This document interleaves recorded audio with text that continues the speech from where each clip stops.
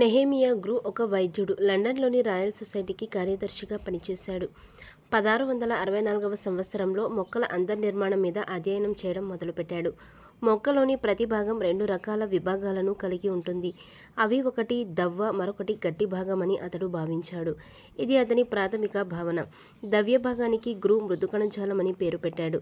గ్రూ మొక్కల దేహాల్లోని కణజాలాలపై అధ్యయనం చేసి పదహారు వందల ఎనభై రెండు సంవత్సరంలో అనాటమీ ఆఫ్ ప్లాంట్స్ అనే గ్రంథాన్ని ప్రచురించాడు. Next bit. విసర్జక పదార్థాలు అధికంగా ఉన్న ఆహార పదార్థాలు స్రావక పదార్థాలు వంటి కొన్ని రకాల పదార్థాలను విభిన్న రూపాల్లో నిల్వ చేసుకోగలిగే సామర్థ్యం మొక్కలకు ఉంది.